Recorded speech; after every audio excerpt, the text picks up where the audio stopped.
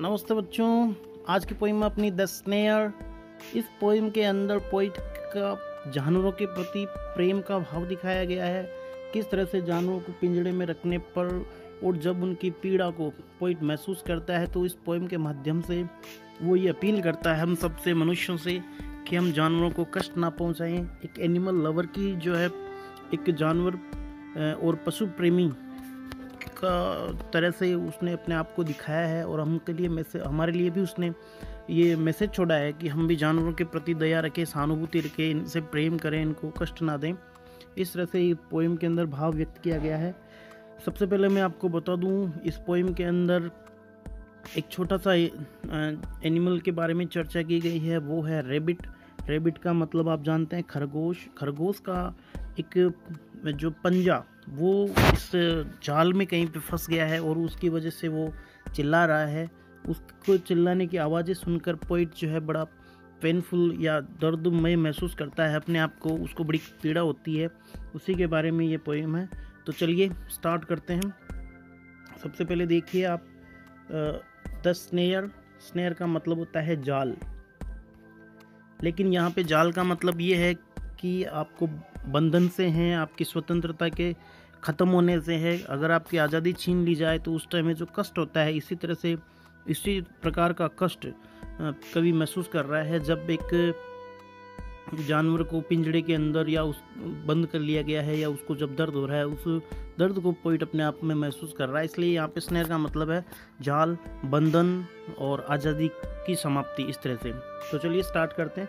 I hear a sudden cry of pain there is a rabbit in a snare now I hear the cry again but I can not tell from where देखिए hear H E A R hear hear का मतलब होता है सुनना। आई का मतलब मैं। मैं सुनता हूँ। क्या सुनता हूँ? सडन क्राई सडन का मतलब होता है अचानक। क्राई का मतलब होता है चिल्लाना। और पेन पेन होता है दर्द। यानी कि मैं सुनता हूँ अचानक से दर्द की आवाज़ें, दर्द के चिल्लाने की। अचानक से मुझे दर्द की आवाज़ें सुनाई देती है। किसकी आवाज़ें हैं वो? वो आवाज़ें हैं there is a rabbit in a snare there is वहाँ है, क्या है? ए रेबिट रेबिट है वहाँ पे, ए हेयर है। हेयर बोलते हैं रेबिट को रेबिट बोलते हैं, खरगोश को। इन ए स्नेयर स्नेयर का मतलब मैंने ऊपर बताया आपको, जाल में। यानी कि आवाज़ किसकी आ रही है?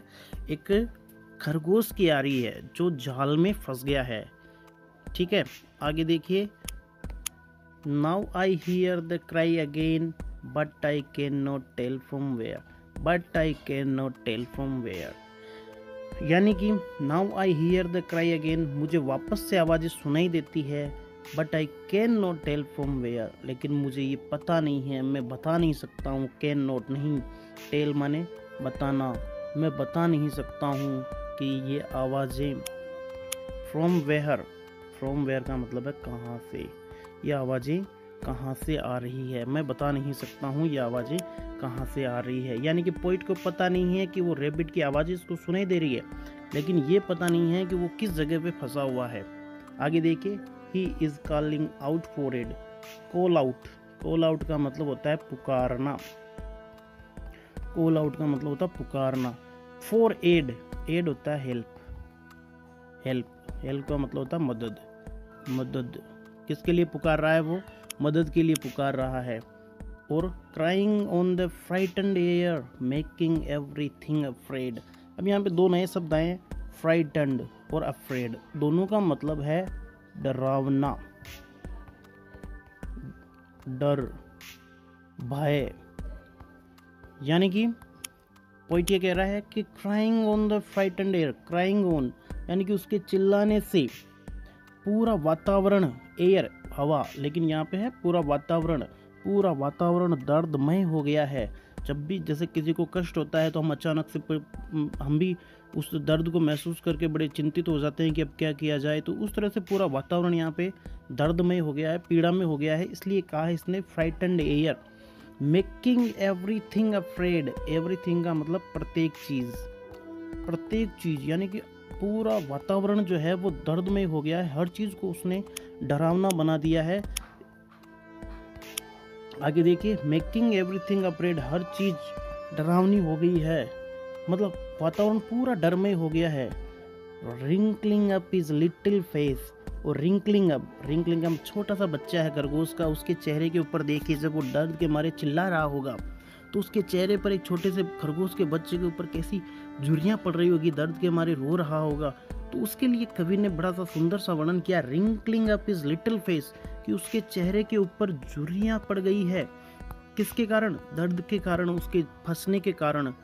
He is his little face as he cries again for aid और जैसे वो और और बार बार चिल्ला रहा है, किसके लिए? एड के लिए हेल्प के लिए, मदद के लिए, लेकिन पोइट क्या है? पोइट मजबूर है, बेबस है, क्योंकि उसको आवाज़ तो आ रही है, लेकिन उसको ये पता नहीं चल रहा है कि ये रेबिट कहाँ पे फंसा हुआ है, क्योंकि वो कहता है आगे poet and I can not find the place कि मुझे पता नहीं है, उस जगह का पता नहीं है।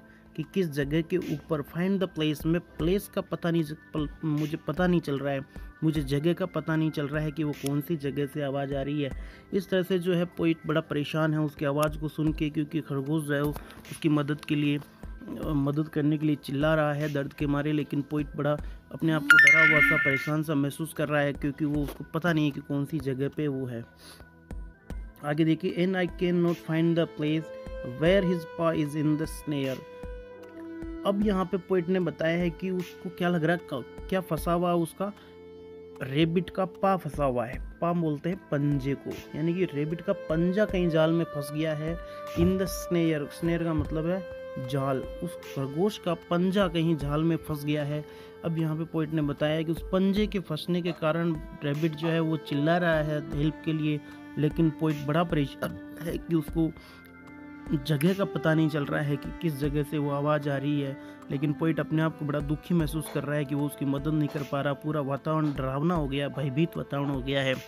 आगे देखिए little one O little one अब यहाँ पे little one O little one का मतलब ये है कि अरे वो छोटा सा छोटा सा, भोला सा, निरी है, मासूम सा, और अरे बेचारा, अरे छोटा सा, बिल्कुल बेचारा, उसको बड़ा दर्द होता है, इसलिए ये लाइन यूज़ करता है पोइट इतना छोटा सा, प्यारा बच्चा कहाँ पे फंस गया है? मुझे पता नहीं चल रहा है। मुझे बड़ा दुख हो रहा है। वो कहाँ पे फंस गया है? लिटिल वन, अरे छोटा सा, इतना छोटा सा प्यारा बच्चा कहाँ फंस गया है? आई एम सर्चिंग एवरीवेयर और मैं उसे हर जगह ढूंढ रहा हूँ, लेकिन वो मुझे नहीं पता चल रहा है।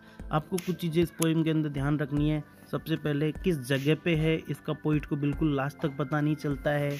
क्या वो उसकी मदद कर पाता है? बिल्कुल नहीं कर पाता है। उस पोइट रेबिट जो है, उसका कौन सा अंग फंसा हुआ है तो अपने को पता होना चाहिए। उसका जो है पंजा फंसा हुआ है।